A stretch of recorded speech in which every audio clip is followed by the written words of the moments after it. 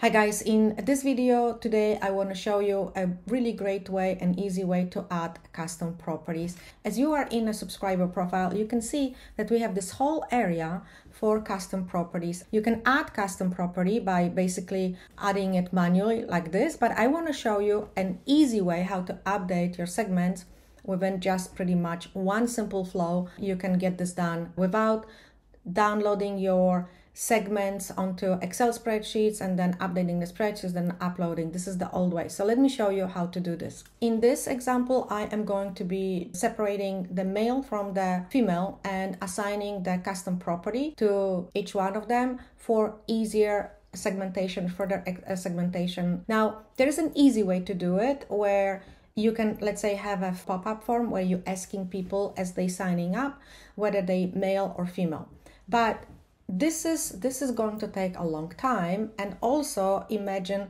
that not everyone is going to give you that information. So the easiest way and the fastest way in this example is to use Klaviyo's predictive analytics. And let me show you how this is done. So i do have these segments here pre-built and as you can see they are based on predicted gender. The definition of the segment is you pull up predictive analytics and then it's predicted gender. What this means is that Klaviyo believes that this group of subscribers are most likely male and this group of subscriber is most likely female. It will separate pretty accurately your database into male and female, but it won't add that custom property to your subscribers that is so necessary for further segmentation. I will show you how with one flow we can update everyone that is in this segment. So let's say we have 48,000 subscribers that we believe are male. And in order to add that property onto your subscriber profile, all we need to do is create that simple flow.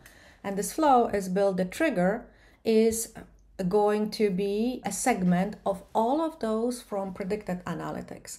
So the first segment that we've created, this is going to be our trigger. Everyone who enters that segment will then go through this flow. And the way this flow is built, it's a little different than the usual flows because this one actually doesn't send emails but only updates. We are going to pull up the profile property update, which I already have it here, but that's all you need to do.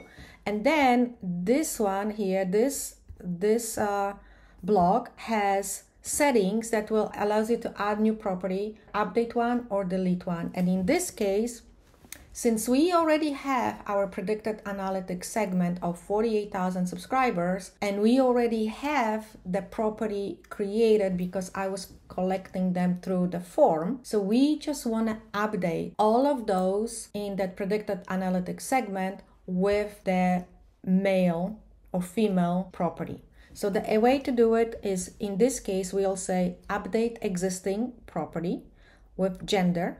You have probably a lots of other interests, but in this case, we are doing gender. And then I am going to add the property to all of these uh, subscribers. So in this case, I'm going to add it, but I can also remove it. All I'm going to do is click add, close, and then if in order for this to be added to your existing profiles, you need to go to manage flow and then add past profiles.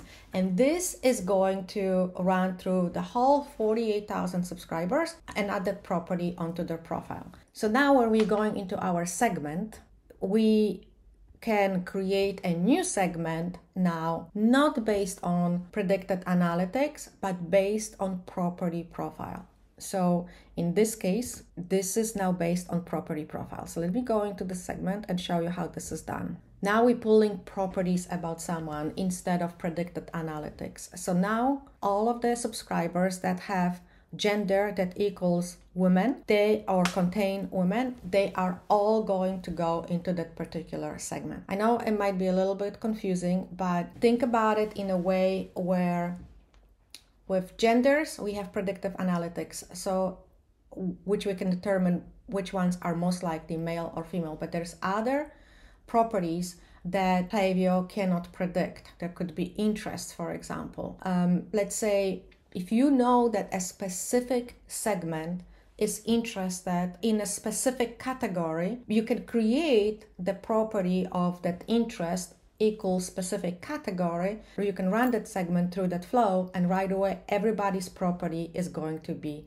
updated. I'll show you another example with a post-purchase flow where I'm adding the property update onto my flow. So as people are making a purchase and depends on what products they purchase, they can be automatically tagged with a property profile for further segmentation. So in this case, I created these profile categories. Let's say property magnetic, uh, lashes. We have like four categories here. So everyone who enters this flow and then I have a conditional split here based on what they purchase, they will go into the appropriate section of that flow.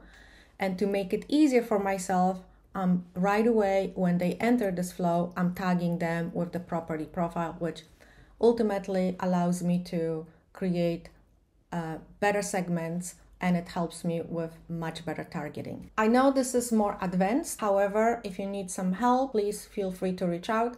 I hope you learned something here and let me know if you need any help and I'll see you in my next video.